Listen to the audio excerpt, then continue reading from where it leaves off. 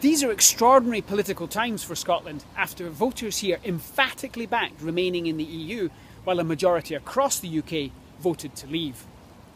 Diverging trends are putting unprecedented strain on the three century old political union between England and Scotland.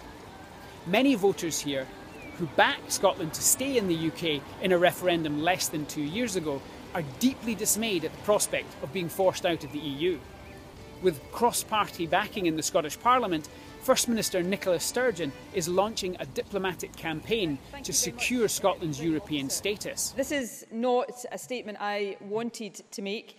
The Scottish Government didn't seek a referendum on our membership of the European Union and we certainly did not want this result. Scotland spoke clearly for Remain and I am determined that Scotland's voice will be heard.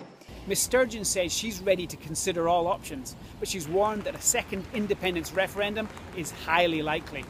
Based on the very clear result in Scotland, if we were to be removed from the EU, it would be against the will of our people. That would be democratically unacceptable.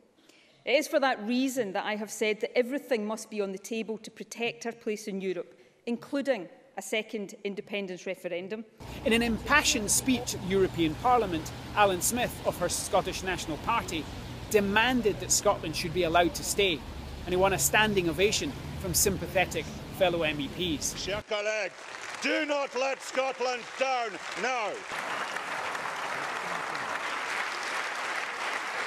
But whether EU leaders and member states will be willing to accommodate Scotland is highly unclear, as is the likely level of support for Scottish independence if another referendum is called.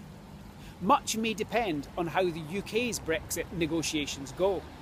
This drama is just beginning. Mure Dickie, Financial Times, Edinburgh.